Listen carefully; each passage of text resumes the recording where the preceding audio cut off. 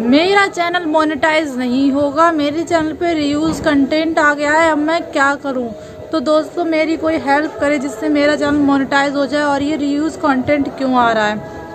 तो दोस्तों, आज हम बात करने वाले इसी टॉपिक पर कि अभी जो जितने भी लोग हैं, उनके सभी के जो मोनेटाइजेशन में रियूज कंटेंट लिखकर आ रहा है, उनका चैनल मोनेटाइज नहीं किया जा रहा है। तो आप लोगों को ही पता होना चाहिए कि ये क्या है और ये क्या चल रहा है अभी यूट्यूब पे। सभी लोगों के सामने इसी चीज़ की दिक्कत आ रही है कि उनके चैनल पर रियूज कंटेंट लिख के आ रहा है, जिसकी वजह से उनके चैनल का मोनिटाइजेशन है, वो रिजेक्ट हो जा रहा है। तो आपको मैं बता दूँ, अगर आप लोग भी चाहते हैं कि आपका चैनल का जो मोनिटाइजेशन है, वो रिजेक्ट ना हो, आपका मोनिटाइजेशन एक ही बार में हो जाए तो आप लोगों को कौन कौन सी मिस्टेक मिस्टेक नहीं करनी है, जिससे आपके चैनल पे भी मोनेटाइजेशन के टाइम रियूज कंटेंट लिखकर ना आए। तो दोस्तों, अगर आपका चैनल मोनेटाइज नहीं हुआ है तो आप लोग इस वीडियो को ज़रूर देखना, क्योंकि अगर आपका चैनल मोनेटाइज होने वाला है तो आप लोग इसको ज़रूर देखते रहिए, क्योंकि आप लोग भी ये मिस्टेक बिल्कुल मत करना, जो और लोगों ने की है और उन लोगों के वीडियो पे, उन लोगों के मोनेटाइजेशन पे लिख के आया है कि उन्होंने रियूज कंटेंट यूज़ किया। तो मैं आपको बता दू, ये क्यों लिख के आया है, इसकी वजह क्या है आखिर, और ये लोगों के सामने दिक्कत क्यों हो रही है? अभी दोस्तों 2022 जब से स्टार्ट हुई, तब से मोनेटाइजेशन की जो पॉलिसी है,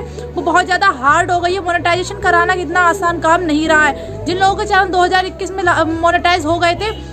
वो उन लोगों के लिए बहुत ही ज़्यादा अच्छी बात है, पर जिन लोगों के चैनल मोनेटाइज अभी तक नहीं हुए, वो अपने चैनल पे ये गलती बिल्कुल भी मत करना जो मैं आपको बताने वाली तो दोस्तों, जो रियूज कंटेंट है, वो लिख के क्यों आता है? रियूज का मतलब होता है कि पहले से ही कोई चीज़ है, वो यूज़ की हुई है, और उसका आपने फिर से रीयूज़ किया है। मतलब दोबारा से यूज़ किया है, वो होता है रीयूज़ तो मैं आपको बता दूँ रियूज कंटेंट का मतलब होता है दोबारा से यूज़ किया हुआ कंटेंट मतलब पहले से ही वो चीज़ है जो आपने अपने चैनल पे अपलोड किया, वो पहले से ही किसी दूसरे चैनल पे अपलोड की हुई है।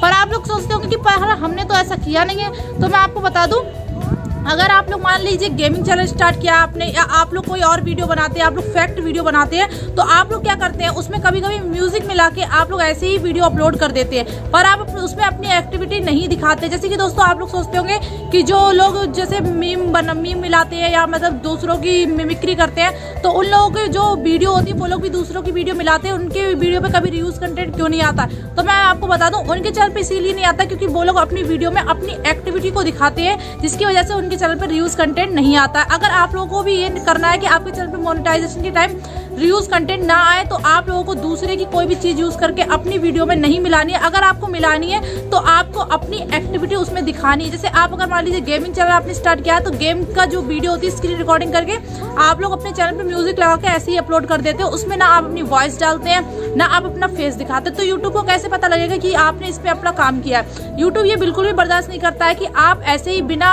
मेहनत किए आप कोई भी चीज़ लेके यूट्यूब पर डाल दें। तो दोस्तों, मैं आपको बताऊँ यूट्यूब उन्हीं लोगों को आगे बढ़ाता है, जो यूट्यूब पर लगन से काम करते हैं, मेहनत से काम करते हैं, जिसकी वजह से उन लोगों को आगे चल के काफ़ी प्रॉफिट होता है और जो लोग अपनी फेस कैट वीडियो शुरू से बनाते हैं तो उन लोगों को आगे चल के बहुत ही ज़्यादा फ़ायदा होता है, क्योंकि अगर आपके कभी भी चैनल लाइफ में डिलीट हो जाता है तो आपके चैनल में कभी दिक्कत नहीं आएगी, आप दूसरा चैनल स्टार्ट कर सकते हैं, आपके चैनल पर ट्रैफ़िक फिर से आ जाएगा।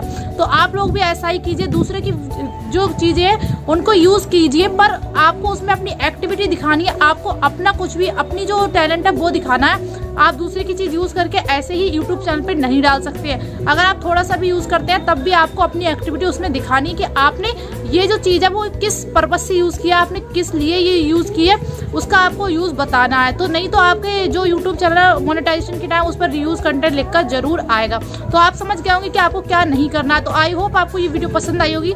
अगर वीडियो पसंद आई हो तो वीडियो को लाइक करके चैनल को सब्सक्राइब ज़रूर कर देना। तब तक टेक केयर बाय बाय